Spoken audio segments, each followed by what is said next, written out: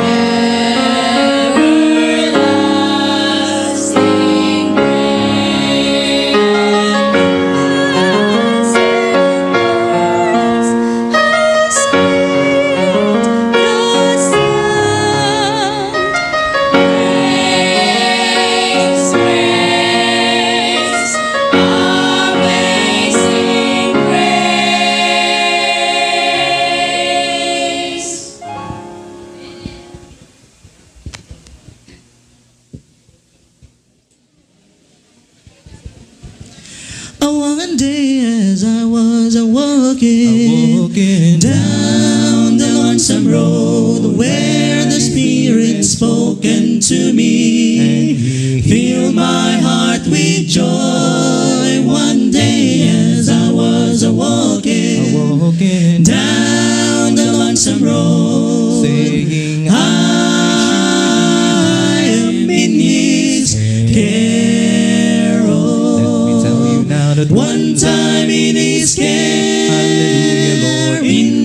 Savior's care. One time in His care, in His care. Oh, oh, oh, oh, Jesus got His arms on around me. No evil thoughts are gonna harm me, for I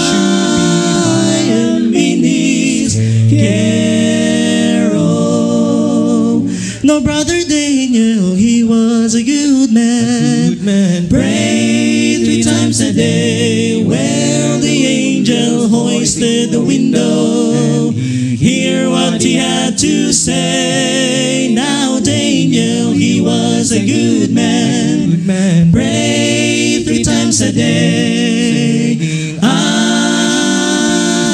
am in his care. Let me tell you now that One time in his care, in my Savior's care. One time in his care, his care. Oh, oh, oh, oh, Jesus got his arms on around me. No evil thoughts are gonna harm me, for I am in his care. Oh, Let me tell you now that one time in His care, in my Savior's care. That One time in His care, in His care.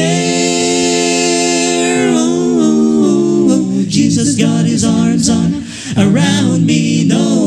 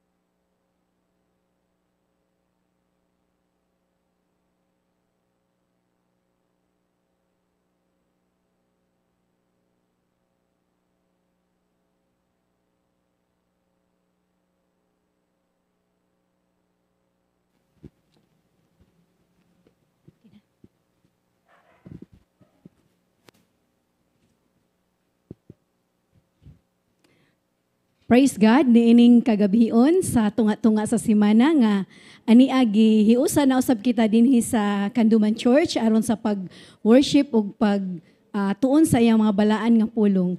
Ako nga gipanimbaya ang ato nga mga kaigsuonan nga ani dinhi sa sa church ug ang ato sab nga mga kaigsuonan nga anaa dinha sa Facebook Live ug sa YouTube nagasunod ka nato. Hinaot nga anaa ka mo sa maayong nga kabutang karon aron magkayusa kita sa pagdaig ug pagsimba sa ato nga balaan nga Dios. Niining kagabhion ah, mapasalamaton kita nga gipadalhan kita sa atong Ginoo ug magsusulti si Sister Judy Beth Aribado. Siya usa ka host sa Hope Channel as Hope Channel Central Philippines ug siya magig-uban ka nato aron sa pagpahat ka nato sa mensahe sa pulong. Ug nining kagabion mga kaigsuonan, ako manghinaot nga ang balang spiritu magauban ka nato ug samtang dili pa ko makalingkod akong pagabasahon dinhi sa Psalms 111 uh, verses 1 1 to 3 Praise the Lord I will praise the Lord with my whole heart in the assembly of the upright and in the congregation. The works of the Lord are great, studied by all who have pleasure in them. His work is honorable and glorious, and his righteousness endures forever. Ang Ginoo magapala panalangin ka nato samtang kita magapaminaw sa iya mga pulong. God bless.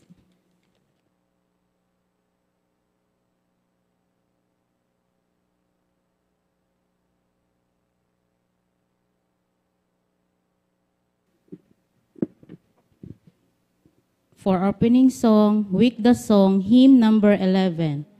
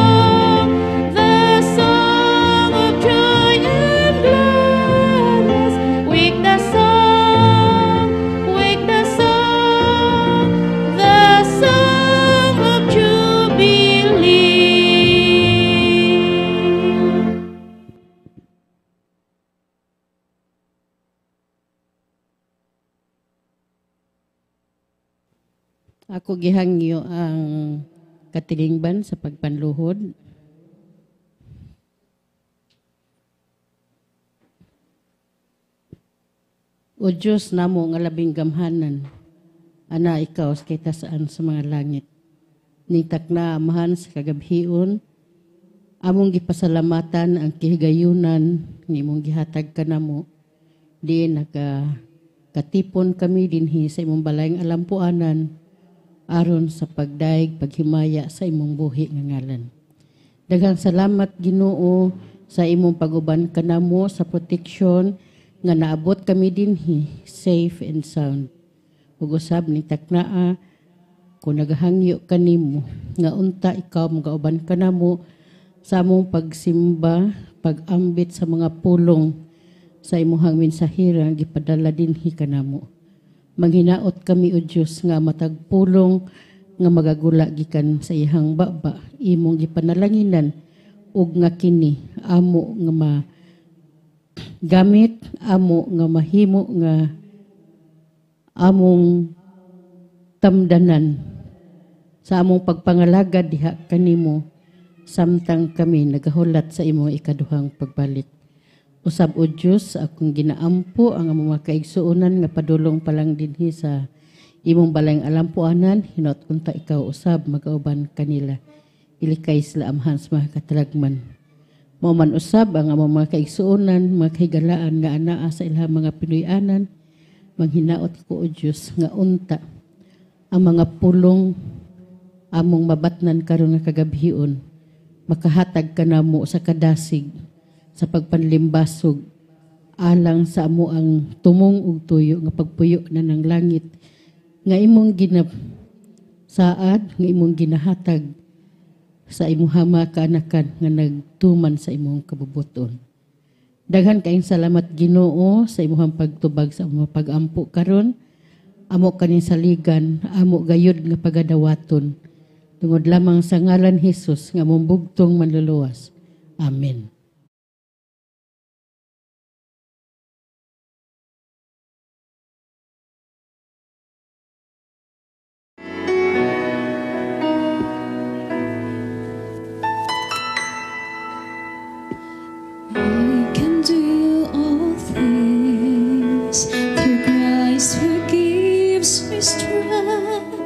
But sometimes I wonder what He can do through me.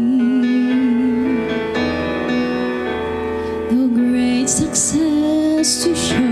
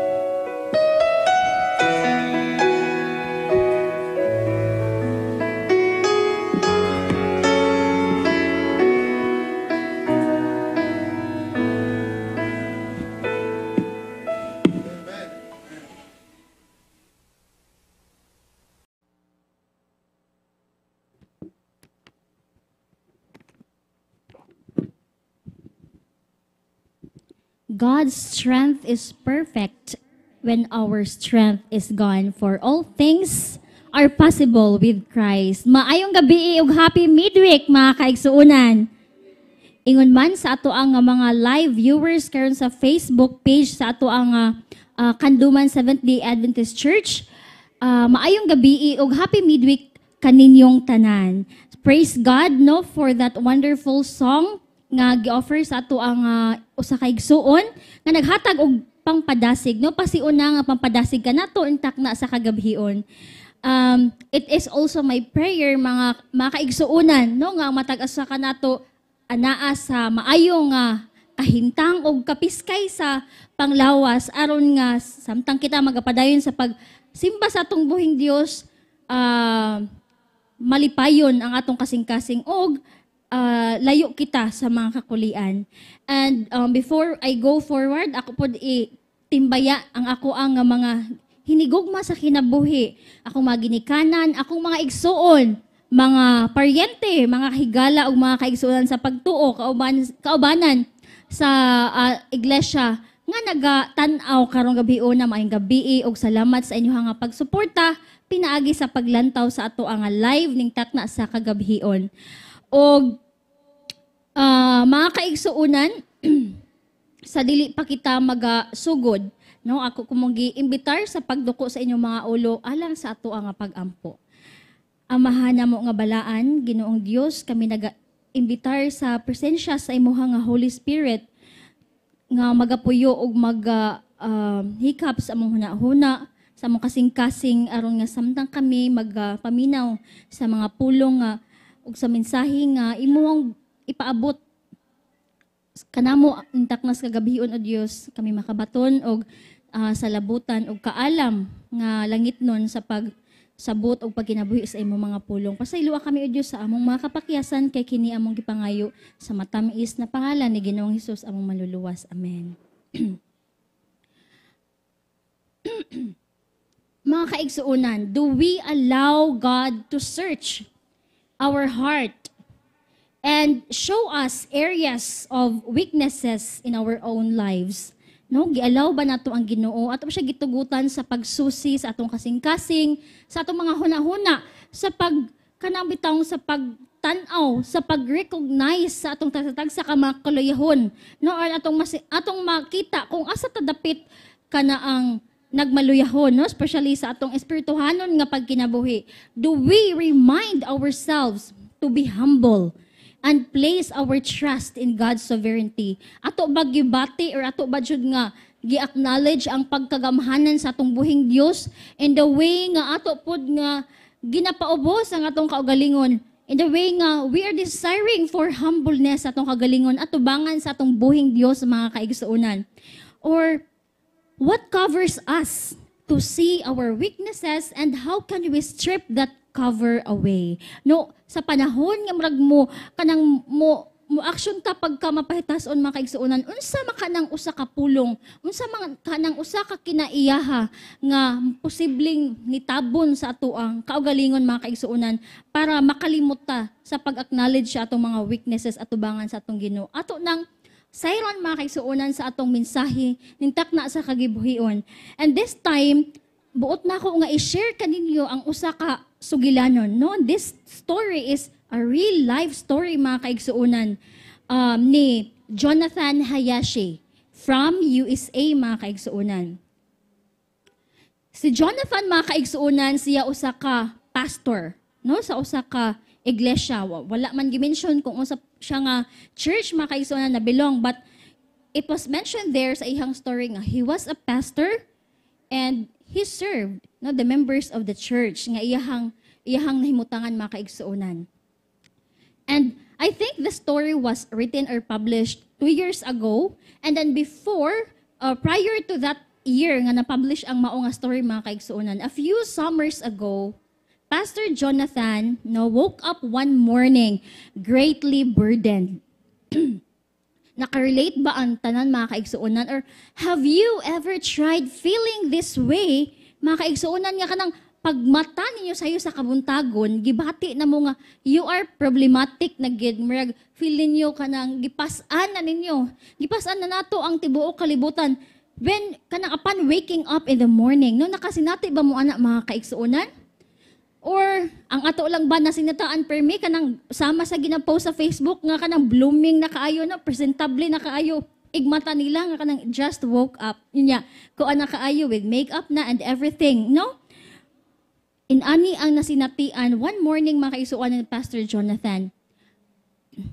I could still remember mga kaigsuonan two years ago no? Year it was year 2022 mga kaigsuonan when I lost or when we lost our younger sister in the family nga kana ang if si Jonathan mga kaigsuonan buntag siya naka-feel nga greatly burdened, our family back then, or maybe months, no, for months, gid makaigsuunan, we felt very kanaang and greatly burdened makaisuan not just in the morning but all throughout the day. To the point nga mo mo salop na ang adlaw mga ang among bation ang among reaction mo na ko especially sa ako ang side o sa mga side na kumaingon yun pwede buntag na lang per me. Kay murag igsalop sa ka na ang adlaw makiigsunan. We can feel nga kay di ba naanda nato kung kuan kung adlawan ala maglaglaag sa mga sa balay nato nang very dili dili kay intact per kagabi eh, we're expected nga all the members of the family are intact no kanang kompleto but pagka pagka wala sa mga igsoon mga igsoon especially after sa ihang lubong no kanang gibati gid namo ang kanang kakulang no sa miyembro sa among panimalay. Mao na nga we always felt greatly burdened no sa among kasing-kasing ug sa among nauna that time mga kaigsuonan. And then mao na akong mama mo ingon po din siya nga hey gabi na pod na murag burden kay sa mo ako mo salop na makisan kay murag kalaay nga murag ka kahuot sa dughan no that's why nakarelate ko sa gibati ni ini ni Pastor Jonathan mga kaigsuonan when he felt this kind of feeling one morning sa iyang kinabuhi. And when he felt this feeling mga kaigsuunan, he opened his Bible, no? And read it as he normally did each day. Though God's word often brings him peace, that day his mind was spinning. For some reason, he felt that there was a real sense of uneasiness in his heart, no? Bisan day to, aduna gud ay di gud day nato ikadinay mga kaigsuonan nga bisan tuod nga kana ang moablit sa to ang mga Bible, maminaw ta og mga pulong sa Ginoo. Sometimes tungod sa atong pagkatawhanon, no? Human in nature, mubati gid ta og kabalaka, kagubot sa atong mga huna-huna mga kaigsuonan, no? We cannot deny it. Kay one of our weaknesses man tana siya mga kaigsuonan.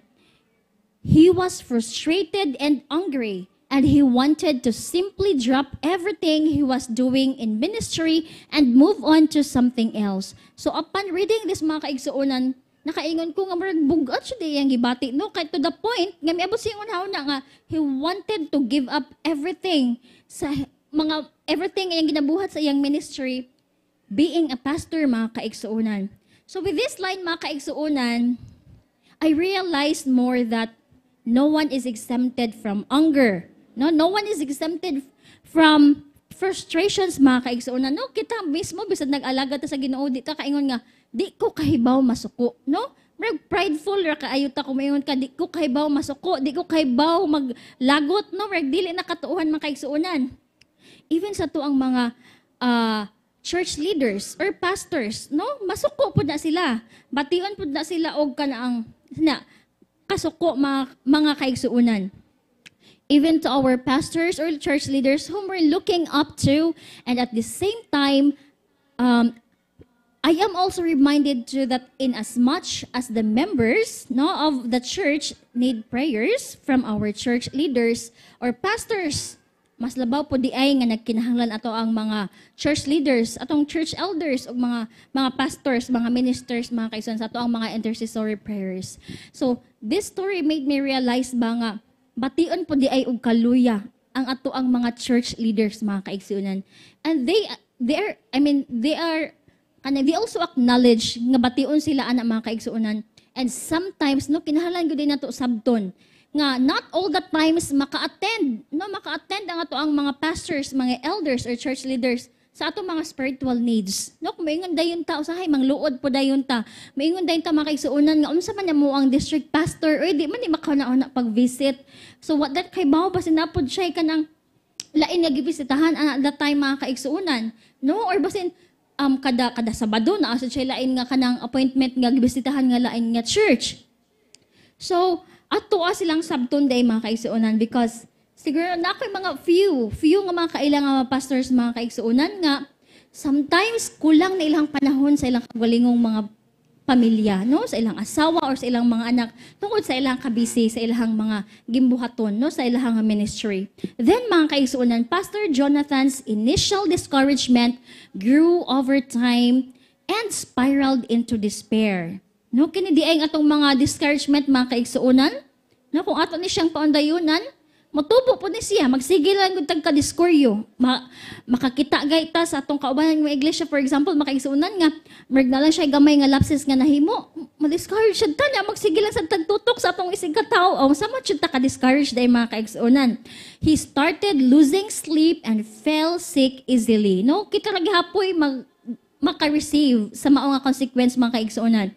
He no longer knew what to expect at church or from life in general. Sometimes, mga kaigsuunan, we are so afraid. No, kanang gusto na to suluhon ta natong problema, especially sa tong mga kanang mga problems bitaw nga kana ang pwede nato ma-share, ma-open up sa ato ang mga ah, kaubalan sa iglesia or sa atong kaubalan sa panimalay.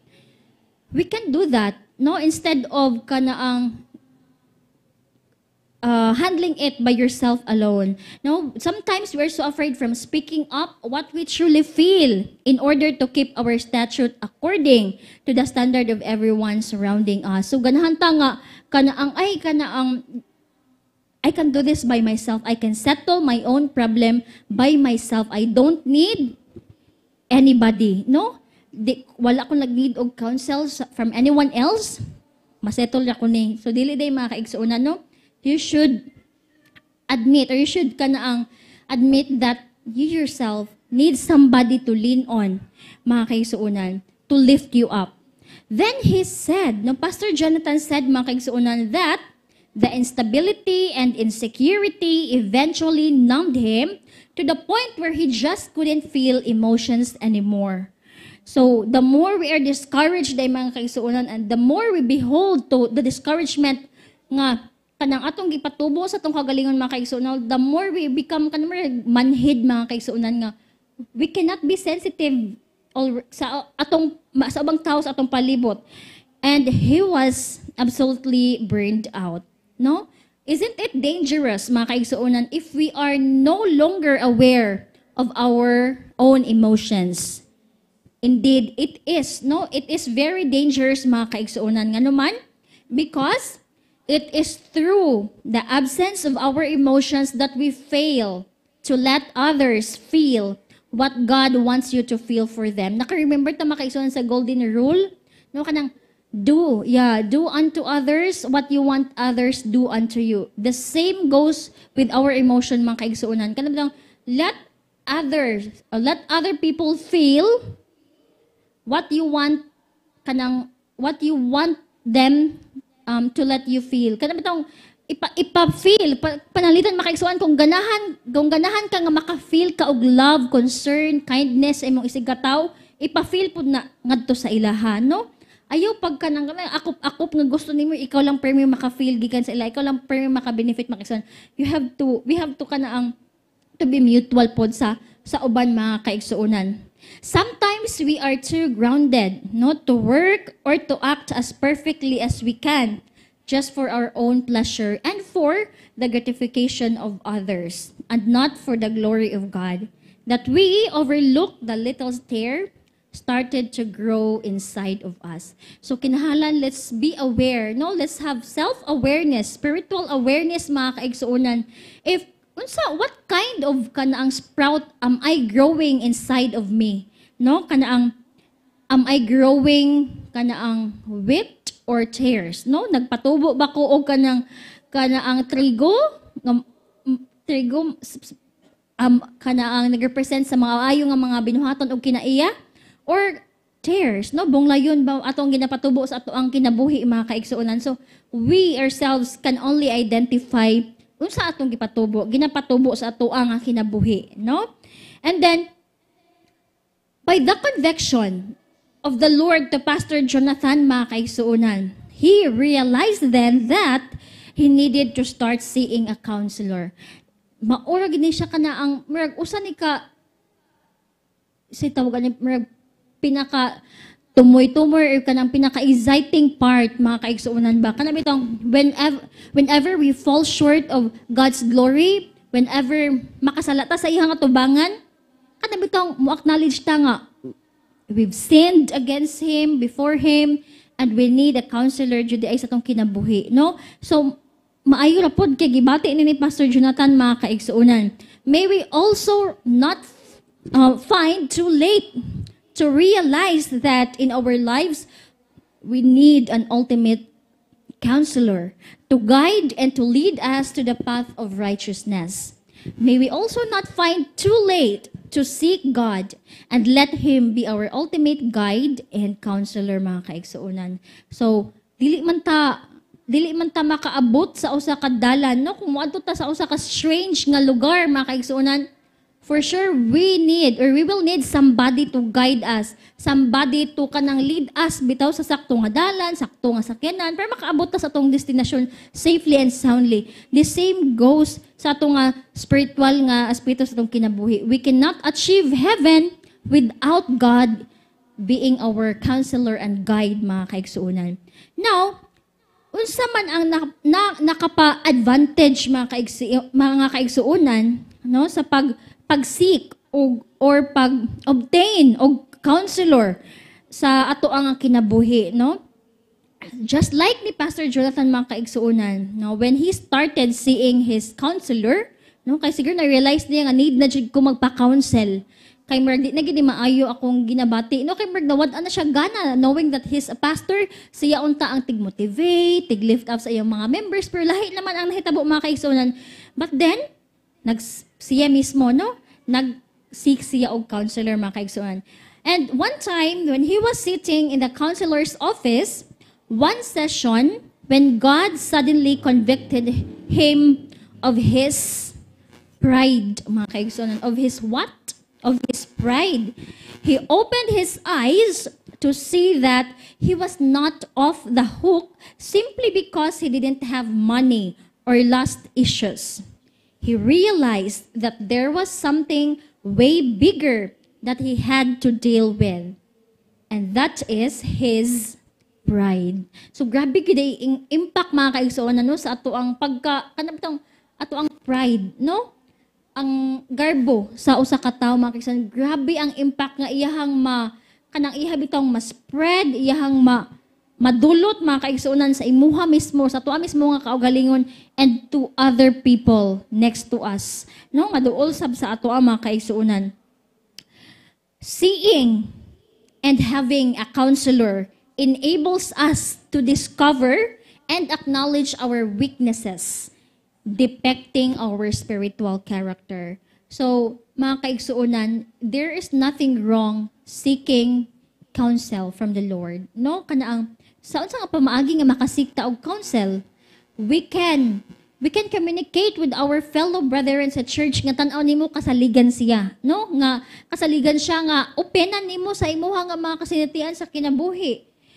We can also go directly to God in prayer and in kanaang seeking his hand is his answer no? Through his scripture in the Bible mga kaigsuonan so dili day na siya ingon bitaw nga ubos sa kaita kay murag kuy nganong man di di ka maka-deal sa problema. Kanang mga uban no kanang tuga-tuga man kag kanang kuan tuga-tuga man kag kanang mga ginikana tuga-tuga man kag pa-eskwela sa imong mga anak nga magsigir man kag pangutang. Di ba inana no?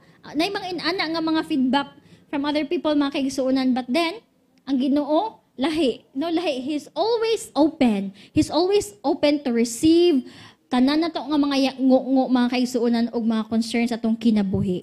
Now how does pride influence us no kana ang uh, because of his pride mga kaigsuonan nabalik ta ni Pastor Jonathan because of his pride he trusted in his own abilities to accomplish works in ministry. So, how does pride influence him, mga kaigsuunan? And how does pride influence us? First, mga kaigsuunan, pride influences self-reliance. Sa pikas nga bahin siguro mga kaigsuunan, we can say self-reliance is positive. No? It's actually positive in a secular world or way mga kaigsuunan. But if you have to kanang imo na siyang ibutang sa spiritual nga world mga kaigsuunan, self-reliance is something that God no God is against with. Kaya nga naman gusto sa Ginoo nga dili ta magsalig sa atong kagalingon. He wanted you and me to rely only in him. Munang inana no ka kana ang bugat inana ang inana ka negatibo ang impact sa mao nga sa garbo mga kaigsoon sa atong kinabuhi. And unsa may mahatag sa self-reliance, it encourages us to doubt what the Lord can do through you and to deprive your total dependence to God. No, wad-on niya, imuunta niyang maduha-duhaon sa Ginoo kay gusto gusto gusto sa kanang kaaway no pinagi sa tong pride nga magsalig lang sa atong kagalingon. So that's it mga kaigsuonan. And the second one, now when things didn't go uh, Pastor Jonathan's way, mga kaigsuunan, however, he responded in anger because he felt like he was robbed of his rightful due. He was tired of the constant waves of threatening questions and the promises of leadership responsibility which seemed to have been forgotten. So, unsa ang ikaduha mga kaigsuunan nga maimpluwensya sa garbo sa atong kinabuhi? Pride influences anger and frustrations sama sa nasinatian ni Pastor Jonathan mga kaigsuunan. So if magpadayon ta sa pagkagarbuso mga kaigsuunan, pagkagarbusa, no? Mag, posible pod nga magmasok anon ta. Posible nga we are frustrated like almost of our time. Kaya nga naman, panalitan if naay ma kana bitong kana ang prideful nga tao mga kaigsuunan, if panalitan naa siya tudluan, di na siya kaagwanta. No, di na siya kaagwanta nga dugay makasabot iyang gitudloan mga kaigsuonan. Kaya nga naman i-compare na niya sa iyang kaugalingon, dugay maka makasabot. Nga kung ako kausa ka duha nga instruction makasabot naman ko. So in ana ang kinaiya mga kaigsuonan sa usa ka maggarbuso nga nga pagkatao mga kaigsuonan. And then ikatulo mga kaigsuonan, no? Um, over time, his pride or Pastor Jonathan's pride led him to become a bitter Christian. Not better, but bitter. Bitter gid mga kaigsuonan. No killjoy. Bitter Christian, bitter husband, bitter father, and a bitter pastor mga kaigsuonan. So, tiyaw mo na mga kaigsuonan, pride influences bitterness. No? Emotionally, spiritually, maka-influence siya og bitterness mga kaigsuonan. Why? It develops hatred to stir up strife and dries up every fruit of the Holy Spirit within us. Kaya nga naman, if you are bitter, you cannot dare to love your neighbor. You cannot dare to love kanang your enemy. Or bisan bisan mismo sa imong friend no nga feel mo insecure kay ka kay murag mas ahead siya sa imuha you cannot love him or her truly no? If you are kanang influenced by pride mga kaigsuonan. So again pride influences us self-reliance anger and frustrations and also bitterness. So in ana kan negatibo mga kaigsuonan ang impact sa garbo no kung ato ning i-allow nga mo grow sa ato ang kinabuhi. And then what danger awaits a proud attitude? No naa jud peligro mga kaigsuonan if mupadayon ta sa pagdwell o pagpa kanang pagpag-grow sa usa ka kinaiya nga dili gusto sa Ginoo makisuwanan. The danger awaits a proud attitude di ay mak- mga kaigsunan is what? Spiritual distraction. No, kung ganahan ka nga maguba or you will not grow spiritually, you will not grow more in Jesus, then padayon. No, padayon ta sa tong pagkagarbusa o garbuso. But if you want to grow more spiritually diha sa Ginoo mga kaigsunan, then let's avoid kanaang kanang pag sa pagkagorbuso mga kaigsuonan.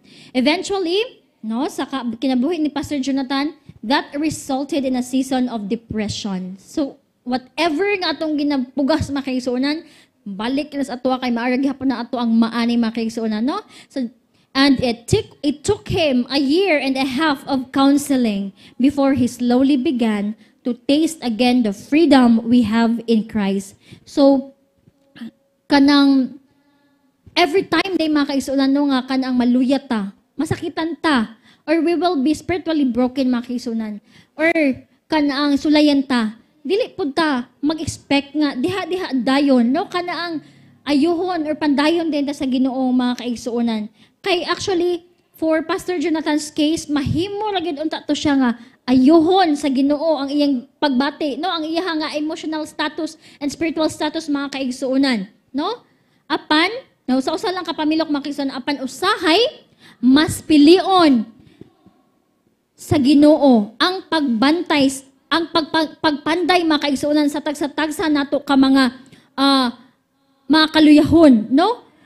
Tagsa-tagsa nato nga mga ah, lapses kapakyasan mga kaigsuonan sa taas nga panahon aron sa atong mga kapakyasan kitang tanan makakaton no kay we will not learn man mga kaigsuonan if kanang tagaan ta aid sa Ginoo right away. No mo nga na ay pwede na ko mag buhat og di maayo na sab kay tagaan naman ko sa Ginoo dayon og tubag no? Or ihamdan ko ayuhon so dili di ay makaistunan and he believes that pride is a deadly sin we often neglect. No usahay kumpensar day kaayo ta no?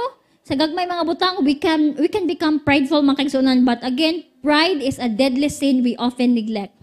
Through the hard lesson of his depression God showed him how to counter the pride that so often leads to anger and bitterness. So tagaan siya og mga pamaagi kung saan pagsukol mga kaugsuonan ang mao nga garbo nga ana sa iyang kasing-kasing. May it be that no na tulo ka mga pamaagi mga kaigsuonan nga atong makita no pinaagi sa balaang kasulatan.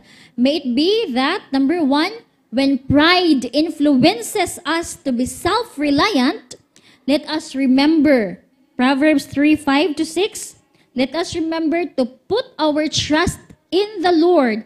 Let us not lean on our own understanding and let us acknowledge God in all our ways. So, total dependence, no? Total reliance gid ang gikinahanglan sa Ginoo gikan kanato mga kaigsuonan. Dili sa atong kaugalingon. Second one, may it be that when pride influences us to be angry and frustrated, let us remember Psalms 37 verses 8 to 9, which says, Refrain from anger.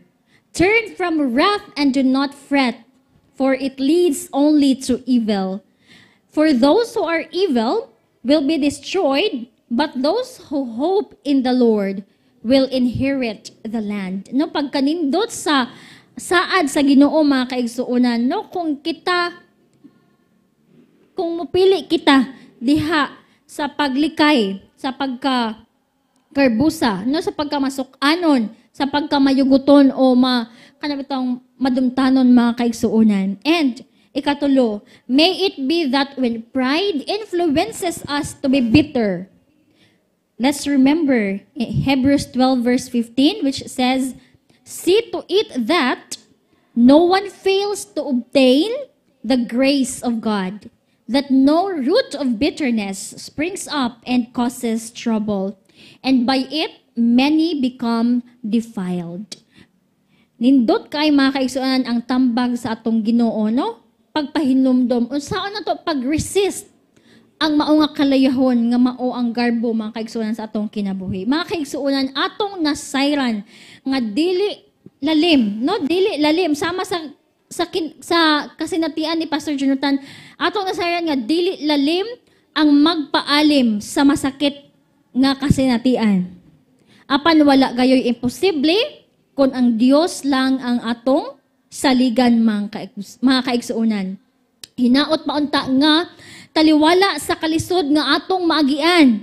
Tugutan nato nga si Jesus mao'y mogiya sa mga dalan nga atong pagalaktan. Igsuon, hinumdumi. Kung ikaw naghandom nga ipataas sa Dios ang imong kinabuhi, katuni ang pagpaubos sa imong kaugalingon og bansaya ang kinaiya nga putli.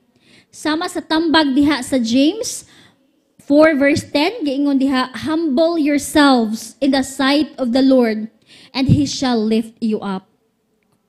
Mga kaigsuunan, ang pagkamapainobsanon mahimong magluwas kanatong tanan, gikan sa tanang matang sa kalaglagan, og magdapit sa grasya sa Dios diha kanato mga kaigsuunan. Remember this, God resist the proud. No, gidumtan sa Ginoo ang mga garboso mga kaigsuunan, but He gives grace to the humble.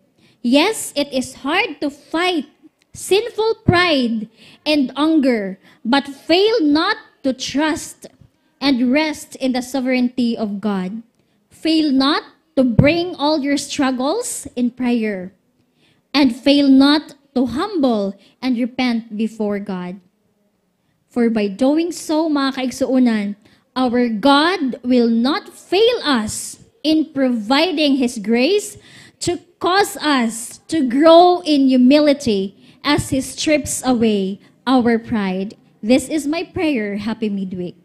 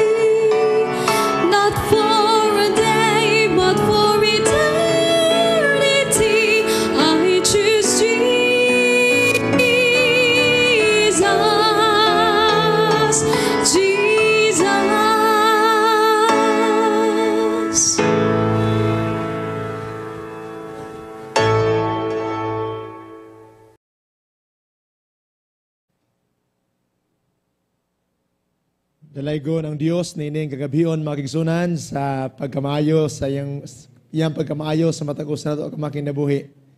Napadasig kita og napahinumduman, pinagi siya mga pulong og diha sa mga manindot usab nga mensahe sa mga lawiton. Og karon nga gabi ato himuon ang pag himo sa atong hiniusa nga pag-ampo diha sa matugyanon gayod og puno sa pagtuo og pagsalig nga diha sa atong diha sa presensya sa atong buhi nga Dios. Kita dinhi niya sa likway og iyat ang pagadawaton ingon niya iyang mga anak nga nanginahanglan sa iyang kaluoy. Ako nagatuo nga kung asa man mo karon nahimutang igsoon do na kita nagkinanlain nga mga giatubang sa kinabuhi nga mga problema mga pagsulay o mga challenges apan kini nga kagabion mo'y usa ka takna nga atong pasalamatan ang Ginoo nga gitagaan kita higayon nga makahimo sa pag simba o makahimo sa pagduol kaniya sa hiniusa gayod. Do kamo naa sa online via Facebook o sa YouTube. Ang uh, uban nga magisunod sab niya dinhi sa iglesia. Apa nagatuo ako nga ang Dios nga atong pagatugyanan niini nakahibalo gayod sa imong gikinahanglan ug nasayod siya sa imong kasing-kasing. Busa karon nga gabi, ako mo hangyoon sa pagluhod alang sa ato nga pagampo.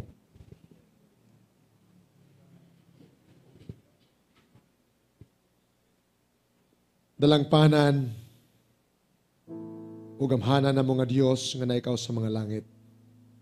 Nining kagabion daghang salamat o Dios sa imong mga pagpahinumdum kanamo pinagi sa imong mga pulong.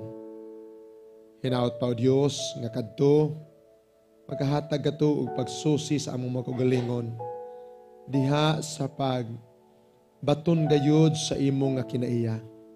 Tungod kay sa among pagkatawhanon Ginoo ana gayud ang kinaiya nga makahimo sa pagluya sa among mga kinabuhi. Ilabi na gayud o Dios nga makahimo sa pagpahilayo diha kanimo. Apan ining kagabion hawasi kami niini. Ilabi na nining garbo nga nitmut nga nias among tagsa ka mga kagalingon. Tabangi kami o Dios nga pinaagi sa imong kaluoy, pinaagi sa balan niya espiritu. Mabat na namo ang tinuod niya kinaiya sa pagkakristohanon nga mahimong ehemplo si Ginoong Hesus among kinabuhi og sa ingon ni amahan mahimo kaming takos diha kanunay kanimo sa pagkinabuhi sa pagkamatarong og magapangalagad nga matinud-anon yang among makinabuhi mahimo usab nga ehemplo ngadto sa uban. Karon ni gabi o Dios among gihangyo ang imong pagpasaylo sa among mga sala. Aron nga takos kami nga magadawat sa among mga panalangin ilabi na nga ang among mga pag-ampo mahimong mahidangat usab diha sa imong trono sa grasya. Nagkalaigla, nagkabulag-bulag kami karon ang uban namo o Dios na sa ah, online naging uban. Uban sa mga isunan niya din sa iglesia ug nasayod kay Ginoo sa among mga gikinahanglan. Among ginatugyan karon ang among tasdagsa magagalingon diha kanimo. Tagay kami kalinaw. Hatagi kami sa kalig-on sa pagtuo karong mga orasa. Nga kung bisan unsa man nga mga gikinahanglan namo karon makahimo gyud kami sa pagtugyan ini diha kanimo Dios tungod kay ikaw man ang among Dios nga nasayod og makahatag sa tanan sumala sa among gikinahanglan. Busa karon nga gabi ginaapil na mo sa pagampo si Sister Janelle Grace Labadan. Doon na siya himpaghimuon nga defend sa iyang thesis sa sunod semana sa iyang eskwelahan. Hangyoon ka na mo karon nga gabi o Dios nga ikaw maga pakiguban niini nga mga panahon sa paghimo niini ni Sister Janelle. Hatagi siya kaalam ang mga butang nga iyang ginatun-an karon. Mao gayud ang mahimo niya o labaw pa niini. Pinagi sa imong pagmando aron siya mahimong malampuson o Dios sa mga tinguha. O nga pinagi usab niya na diha sa iya nga pagpanarbaho, sa iya nga pag-eskwela o sa bisan unsa nga bahin. Mahimo siya o Dios nga panalangin usab mahimo nimo siya galamiton alang usab sa pag padasig sa uban niya mga katawan niya na usab sa mga panginahanglan. Inampo sa damo karon nga gabi, Sister Bibi na sa Miller Hospital, si Sister Milos Noval, o si Pastor Joy Barlizo, o si Althea Hamarolin, nga doon na sila nagkalanlain ginoo nga mga gipamatyag sa panglawas. Ikaw ang among Dios nga labaw sa tanang mga doktor nining kalibutana. Dios nga nagaayo kaniadto sa mga bakol o sa bisan unsa nga mga balatian o gani nagabuhi sa mga patay. Karon kay ribii o Dios nagatuo sa gihapon kami nga ikaw wala gayud na usab ug nagabati ug kaluoy ug paghigugma nganhi kanamo ilabi na gayud ni adtong dunay mga panginahanglanon karon naa sila mga problema ilabi na sa panglawas. Busa duawa sila, ayuha sila sumala sa imong gahom. Nga pinaagi na o Dios, mabatnan nila ang kalinaw ug ang kalipay diha sa pagpadayon sa pagpangalagad kanimo. Hatagi sila kalig-on sa pagtuo, sangkapi sila sa tanan magay panginahanglanon. Aron sila o Dios makahimo sa pag ah, angkon o kaayuhan ug makahimo sila sa pagpangalagad kauban namo samtang kami nagapaabot sa imong pagbalik. Lauman namo karong gabi o Dios ang imong balan nga espiritu nga imong ipakunsad sa matagusan namo. Aron na kami Ginoong Dios mapaligon sa pagtuo diha kanimo ug mahimo gayud nga epektibong galamiton nimo alang sa mga bulhaton sa imong iglesia samtang kami nga nagapaabot sa imong pagbalik. Gitugyan namo ang tanan nimo, gitugyan namo ang tanan kanimo ni gagabion. Dawata nga mapag-ampo. Kaya mo kaning gisalig ug gitugyan pinagi sa ngalan ni Ginoong Hesus nga among. Amen.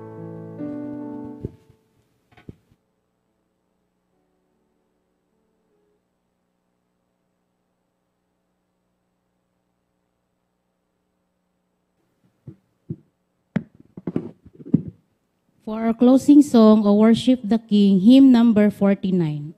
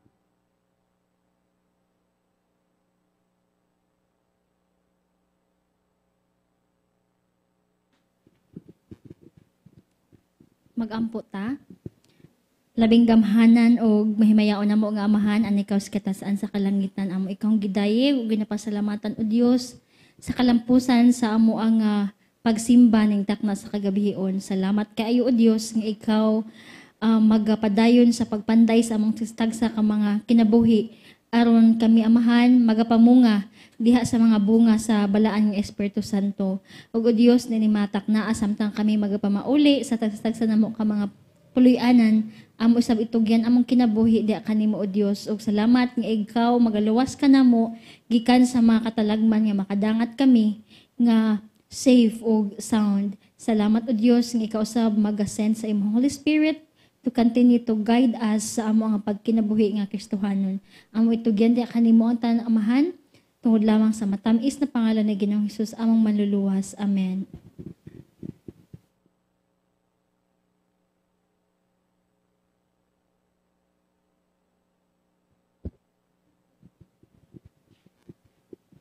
Praise God sa kalampusan sa ato nga pagsimba ni ining kagabion.